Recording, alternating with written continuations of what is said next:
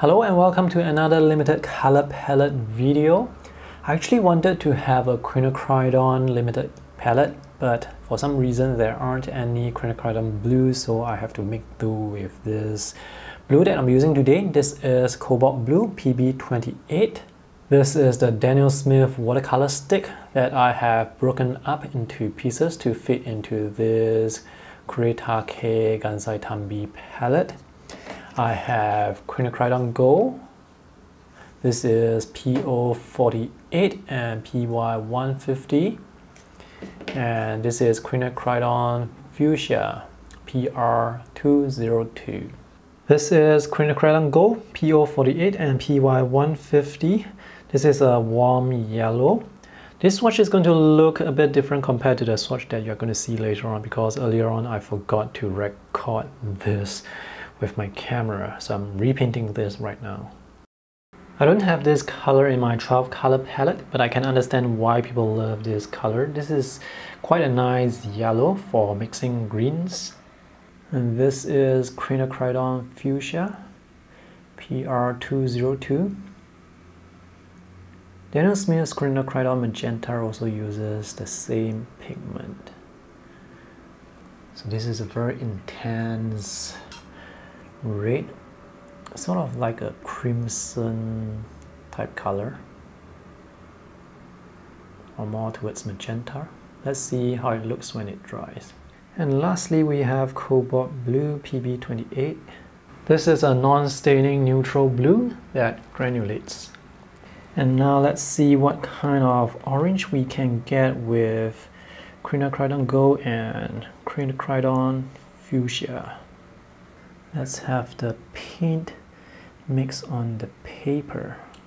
Next we have fuchsia and cobalt blue.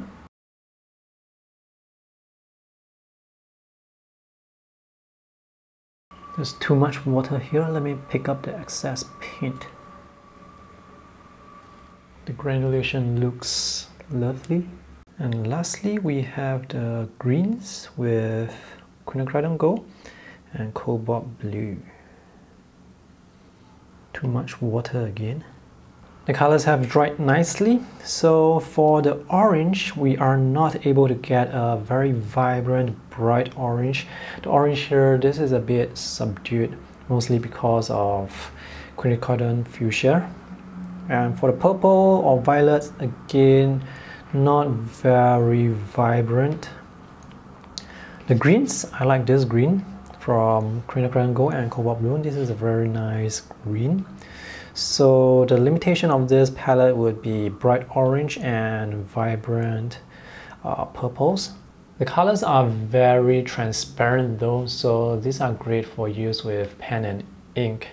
And because cobalt blue is not a very high tinting color, uh, mixing a very dark value with these three colors is going to be very challenging. Right, and now let's paint this sketch that I have drawn in one of my earlier tutorials. I'll put a link to where you can find this sketch, um, the tutorial in the video description below. So now I'm trying to mix the colors, the three colors on the paper. This is with a little bit of quinacridone gold and with a little bit of red. And now let's paint some colors. This is quinacridone gold. I'm going to add a little bit of red to this to give it some variation. Part of this flag is red. And there is this orange bus here there is a tree here so let me paint the leaves with quinacridone gold first and then add some cobalt to it.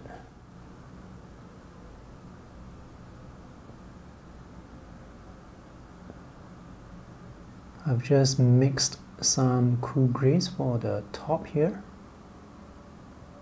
Let me add a little bit more blue to it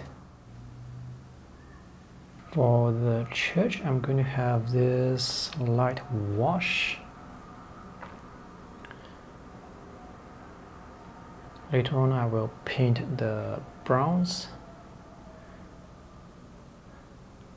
on top of this light wash. And now let's paint the dark browns.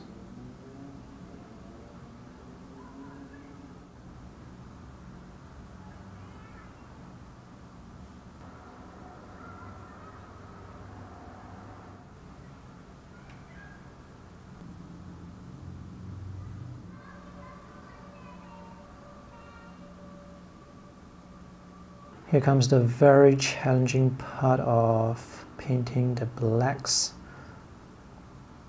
So this is a mix with cobalt blue, quin gold and quin fuchsia with a lot of cobalt blue.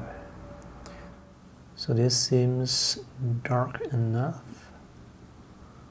And since this is dark enough, I can use this to paint the windows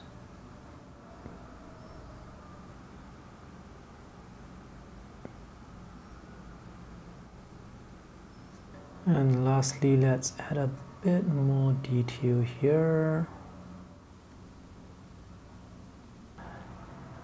I want to add some more grays to the sky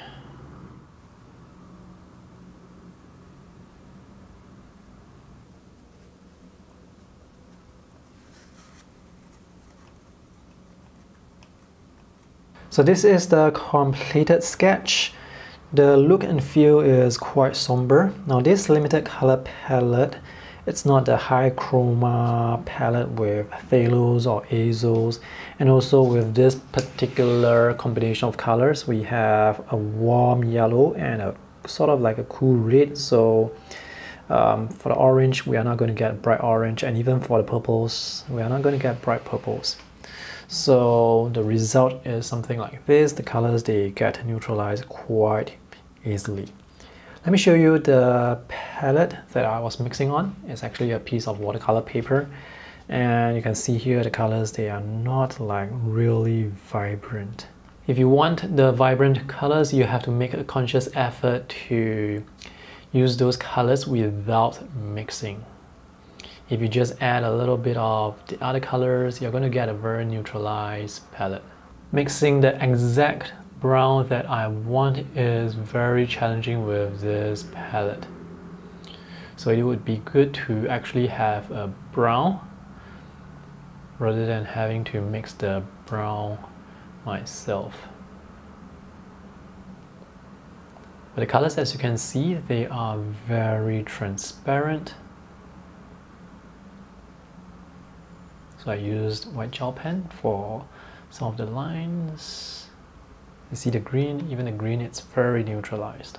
Let me know in the comment section below if you are using these three colors and what colors do you usually use to mix with these three. I would love to hear from you. Alright, thanks for watching. I hope this is somewhat informative. See you in the next video. Bye!